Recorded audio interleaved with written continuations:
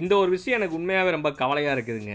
நான் வந்து இந்த விஷயத்தை இம்ப்ரூவ் பண்ணி தான் ஆகணும். அப்படின்னு விஜய் தம்பி விக்ராந்த் அவர்கள் ஒரு கேப்டனாக இன்றைக்கி பேசியிருந்திருக்காரு. என்ன அப்படின்ற பார்க்காத வீடியோ பாய்ஸ் கேர்ள்ஸ் மைட் எப்படி ஃப்ரம் பாலா இந்திய அணியின் ஸ்டாண்டின் கேப்டன் அதாவது இந்த முதல் இரண்டு மேட்சுக்கான கேப்டன் யார் அப்படின்னா கேஎல் ராகுல் விஜய் தம்பி விக்ராந்த் அனுபவம் அழைக்கப்படும் கேஎல் ராகுல் அவர்கள். ராகுல் என்ன சொல்கிறாரு அப்படின்னா ஐயா இந்த விளையாடி முடித்த மேட்ச் ரொம்ப நல்ல மேட்ச் தான். எல்லாம் ஓகே சந்தோஷம் தான். எனக்கு நான் இல்லைன்னு சொல்லலை. ஆனால் அதே சமயத்தில் பார்த்தீங்க அப்படின்னா இந்த ஒரு விஷயம் எனக்கு கொஞ்சம் வருத்தங்க. அப்படின்னு சொல்லியிருக்காரு. எதை சொல்கிறாரு அவர் அப்படின்னா இந்திய அணியை பொறுத்த வரைக்கும் நான் வந்து இப்போ என்ன விளையாடிட்டு இருக்கிறேன்? ஐபிஎல் தான் ஜாஸ்தியாக அணிக்குன்னு இந்தியாவுக்குன்னு பார்த்தீங்க அப்படின்னா என்னை இதுலேயும் சேர்த்துக்கிறது கிடையாது.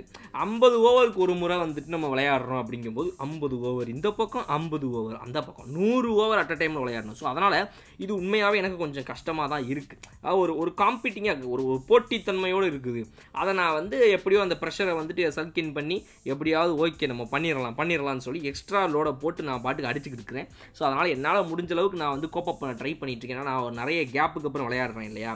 அதுவும் ரொம்ப முக்கியமான ஃபேக்டர் ஸோ அதனால் இந்த கேப்புக்கு அப்புறம் விளையாடக்கூடிய நான் எப்படியாவது இந்த நூறு ஓவர் நிற்கிறதுங்கிறது வந்து சாதாரண விஷயம் கிடையாது. குழம்போல விளையாடணும். குழம்போல பார்த்தீங்க அப்படின்னா குழம்பு சட்டியில் போட்டு எடுத்த மாதிரி இருந்துச்சு. அந்தளவுக்கு அங்கே வந்து அக்கினி வெயில் கொளுத்தி எடுத்துருச்சு. இந்த பக்கம் சரி வந்துட்ட உடனே நான் என்ன சொன்னேன் டீம் மீட்டிங்கில் தம்பிங்களா பஞ்சாப் சூப்பராக இருக்குது very good I S Bindra ஸ்டேடியத்துக்கு ஒரு வணக்கத்தை போடு அப்படின்னு சொல்லி முடிக்கிறதுக்குள்ளே அவங்க வெயிலை போட்டு தாக்குறாங்க. பவுலிங்கை பொறுத்த வரைக்கும் பார்த்தீங்க அப்படின்னா உண்மையாகவே ஆரம்பிக்கும் போது நாங்கள் ரொம்ப சூப்பராக தான் பவுலிங்கை வந்து நியூ பாலை வச்சு ஆரம்பித்தோம் பட் மிடில் ஓவர்ஸ் ரொம்ப டஃப்பாக இருந்துச்சு. சாதாரண விஷயம் கிடையாது. நாங்கள் வந்து இந்த விஷயத்தை பற்றி நிறைய ட்ரை பண்ணிட்டு பேசிகிட்டே தான் இருக்கிறோம் டீம் மீட்டிங்ஸ் ஐம்பது ஓவர் கமிட்டடாக விளையாடணும். சும்மா அந்த இருபது ஓவர் முப்பது ஓவரில் அடிச்சுட்டு மிச்சம் இருபது ஓவரை சுத்தமாக வேஸ்ட் பண்ணிட்டோம். அந்த கதையே இருக்கக்கூடாது ஐம்பது ஓவரும் கமிட்டடாக ஆடணும் இப்படிங்கிறதுல நாங்கள் ரொம்பவே வந்து தீவிரமாக விளையாடிக்கிட்டு பேசிக்கிட்டு இருந்தோம்.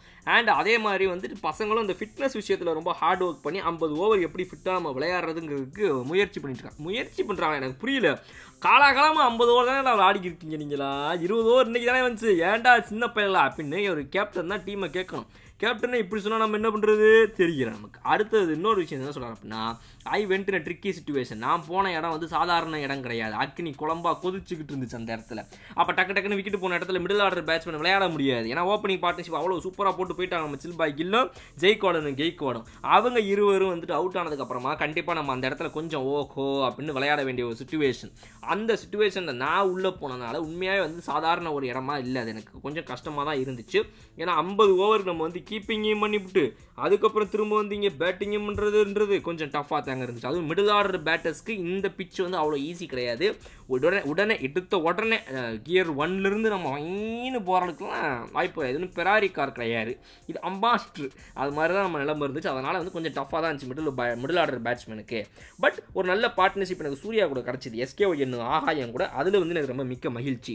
ஸோ அதனால் நாங்கள் வந்துட்டு ஒரு நல்ல குரூப் கிரிக்கெட்டிங் ஷாட்ஸ் அடித்து மேட்ச் ஜெயிச்சிடலாம் மாப்பிளன்னு பேசணும். அதே மாதிரி அடிச்சிட்டோம். அதனால் ரொம்ப விஷயம் அந்த சூப்பர் தான். பட் இருந்தாலும் நான் என்னுடைய கீப்பிங்கில் கொஞ்சம் இம்ப்ரூவ் பண்ண வேண்டியது நிறையவே இருக்குது. கண்டிப்பாக நான் அதை பண்ணணும் அப்படின்னு அவரே ஒத்துக்கிட்டாப்ல வெரி குட் நை. இப்போ சொன்னீங்க பார்த்தீங்களா இதான் நூற்றில் ஒரு வார்த்தை. போயிட்டு வாங்க. அடுத்த மேட்ச் நல்லா கீப்பிங் பண்ணணும். வெரி குட் அப்படின்னு சொல்லி அனுப்பிச்சிட்டோம் கே எல் ராகுலுடைய ஸ்பீச் முடிஞ்சு போச்சு. அடுத்த வீடியோ அவங்க வந்து பார்க்குறேன். அது வரைக்கும் பிடித்துங்க பாய்